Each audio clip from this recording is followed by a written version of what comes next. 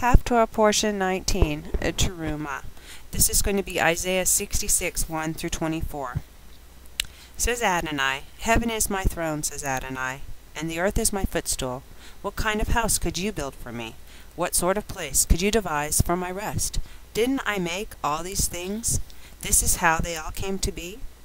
Says Adonai, The kind of person on whom I look with favor is one who is with a poor and humble spirit, who trembles at my word.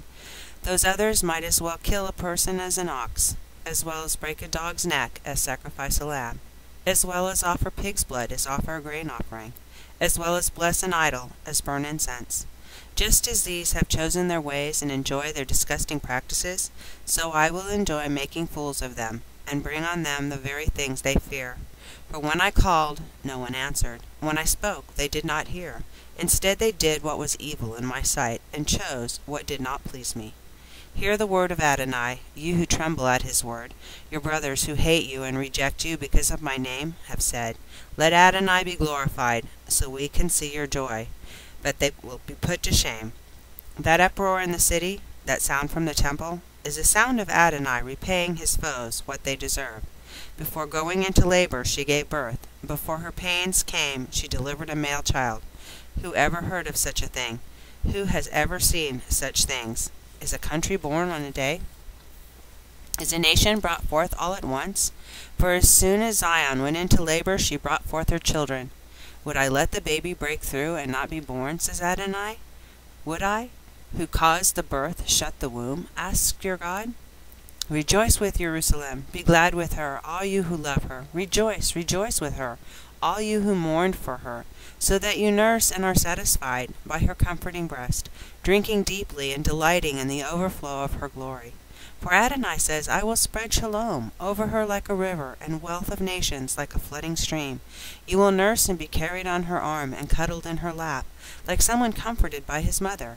I will comfort you in Jerusalem. You will be comforted. Your heart will rejoice at the sight, your bodies will flourish like newly sprouted grass. It will be known that the hand of Adonai is with his servants, but with his enemies, his fury. For, look, Adonai will come in fire, and his chariots will be like the whirlwind, to render his anger furiously, his rebuke with blazing fire. For Adonai will judge all humanity with fire and with sword, and those slain by Adonai will be many. Those who consecrate and purify themselves in order to enter the gardens, then follow the one who is already there, eating pig meat, reptiles, and mice. All will be destroyed together, says Adonai. For I know their deeds and their thoughts. The time is coming when I will gather together all nations and languages. They will come and see my glory, and I will give them a sign. I will send them some of their survivors to the nation of Tarshish, Pul, Lud, these are archers, Tuval, Greece, and more distant coasts, where they have neither heard of my fame nor seen my glory.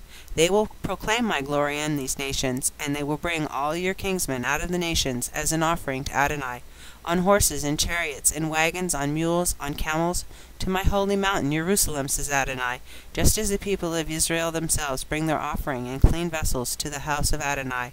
I will also take Cohen and Levim from them, says Adonai. For just as the new heavens and the new earth that I am making will continue in my presence, says Adonai, so will your descendants, and your name continue. Every month on Rosh Chodesh, and every week on Shabbat, everyone living will come to worship in my presence, says Adonai. As they leave, they will look on the corpses of the people who rebelled against me, for their worm will never die, and their fire will never be quenched, and they will be abhorrent to all humanity.